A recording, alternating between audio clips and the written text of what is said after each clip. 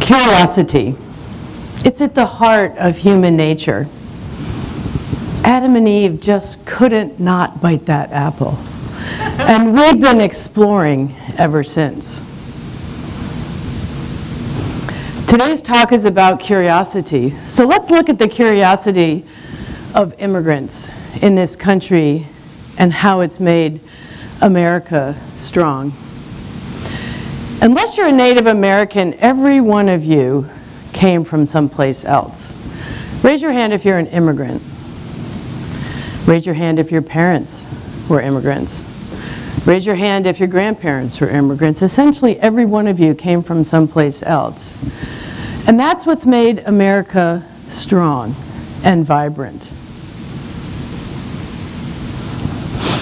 Going to start with talking about a particular American immigrant Abdul Jandali came from Syria, the city of Homs, which has now been destroyed by the Syrian civil war. His curiosity drove him to study in Beirut. And there he got involved in protests, even spent three days in jail, and those protests eventually led him to flee. And he came to the United States, here in New York, to study at Columbia University. He then went on to Wisconsin, got a PhD, eventually went into the restaurant business. The typical immigrant. He's now 85, lives in Nevada, has two successful children. It's part of the American dream. Let me focus on one of his two children. In 1955, he and his then girlfriend had a son. They gave that son up for adoption, and that son ended up growing up in Los Altos, California. He was a curious young boy. And at age 12, he liked to tinker with machines. And he was trying to build a frequency counter, but he didn't have the parts. And he did something that probably no University of Rochester student today has ever done. He went to the phone book, picked up that big book, and looked up the number for Hewlett Packard and asked to speak to the CEO of Hewlett Packard. And he did for 20 minutes. And he not only got those parts, he got a job at Hewlett Packard for the summer. now, you may have guessed it today, but that young boy grew up to found Apple. Steve Jobs is the son of that Syrian immigrant. And he's probably the most curious man of our time. Now, what does this story have to do with our talk today about curiosity and immigrant strength? Absolutely everything. Today, 40 million Americans are immigrants. Firstborn immigrants. That's 12% of our population.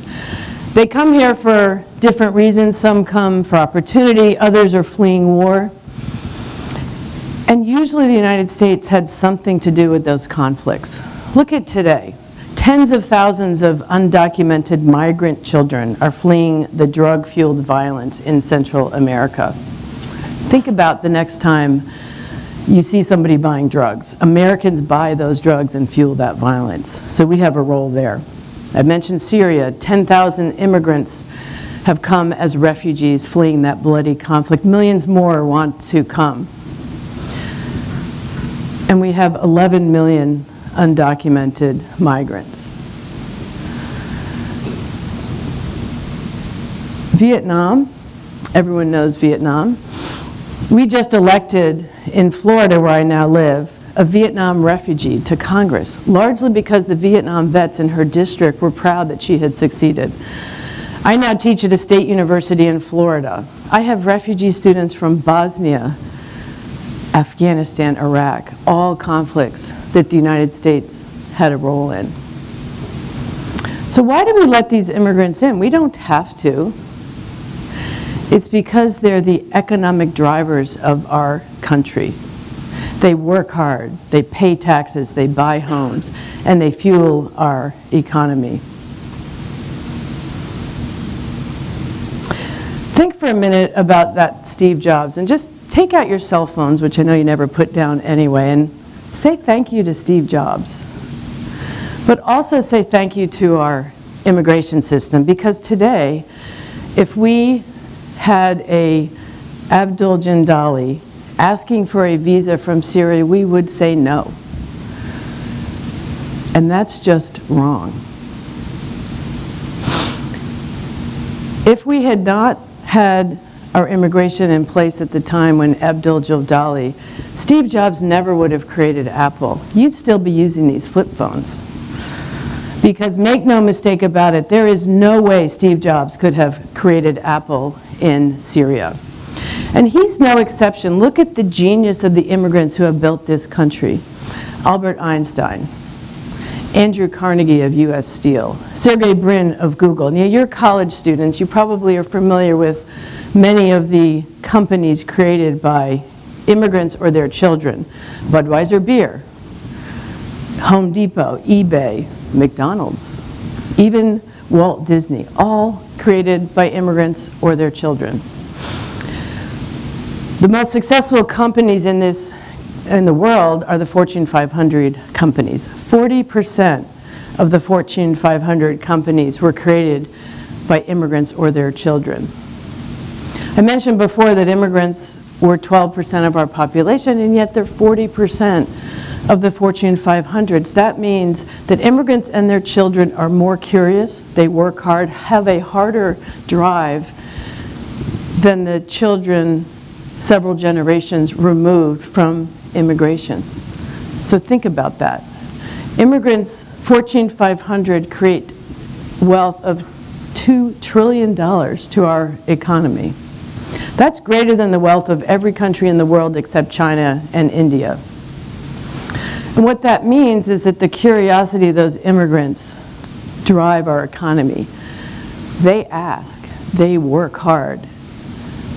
So why would we not let them in? I've lived in Washington for decades and I have never seen an environment so toxic. Politicians are getting elected scapegoating immigrants and that is downright un-American. If you look at immigration today, we have suspended immigration from six Muslim countries, Iran, Iraq, Somalia, Sudan, Yemen, and yes, Syria. And we're trying to kick out the 11 million undocumented workers, most of whom have lived here all of their lives. Discrimination has always been part of the American fabric, and it's always been wrong.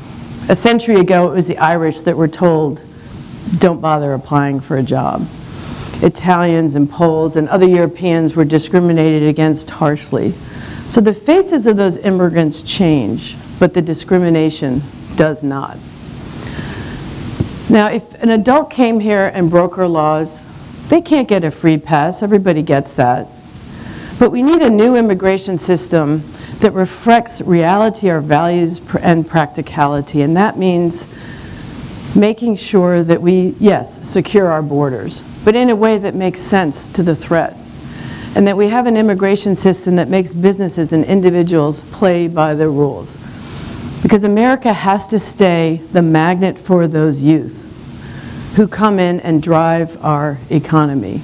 I want young, curious immigrants driving our economy. That is the strength of American society. That conversation on immigration can't happen unless Americans understand their place in the world. Take a look at this map. Unfortunately, that really is how most Americans see the world. Now take a look at how the world really looks. Look at all those lights around the country, and look at the areas that are not yet, yet lit. The United States has 322 million people in it, but the rest of that world, 7 billion people more. And another 2 billion are going to come on Earth by the year 2050, which means by the middle of this century, there'll be almost 10 billion people on this Earth, and the United States will be 3%. So think globally as you decide your career think about not just trying to sell to people here in New York or in the United States, but the 97% of the community that's going to live outside of the world. We want to manage globalization, not close up our borders and end our trade. Because our prosperity depends on creating businesses to the rest of the world. Our exports are 14% of our gross domestic product. Think about what would happen if you could sell to the rest of the world. You'd be very wealthy, and you could come back here and endow a building in your name. You can't do it just selling in the United States anymore. I want to start a new conversation. One where the world, north, south, east, and west, come together and understand that we're all part of the same struggle. We all live on the same earth, and we all must work together. It's a simple, though not easy, way to address the conflicts that you see around the world. I call it the New Global Compact, and it can revolutionize the 21st century. It requires that the haves and the have-nots see that each other's struggles must be solved for both of them to be prosperous. Let me illustrate. The billions of poor people on the world, they're not worried about cyber attacks or Al Qaeda or terrorism. They're afraid of not having enough to eat, not having clean water, war that will kill them. But they want the exact same thing you do a good life, a nice home, a good education, and a future for their children. And we, the rich people, we have our fears. We don't worry about eating. We do worry about terrorism, cybercrime, infectious diseases, environmental degradation, but we want the exact same thing. We want a nice home, a good education, and a better future for our children. So I want to see a world where the haves and the have-nots recognize that we're all part of the same conflict. That we can't be safe and prosperous if the other half is not. To do so requires strong U.S. leadership and an understanding by all of you and your generation of America's place in the world. For when the United States fails to lead, the solutions are generally not in our interest and harm the other half of the world. Let me illustrate one of the starkest conflicts.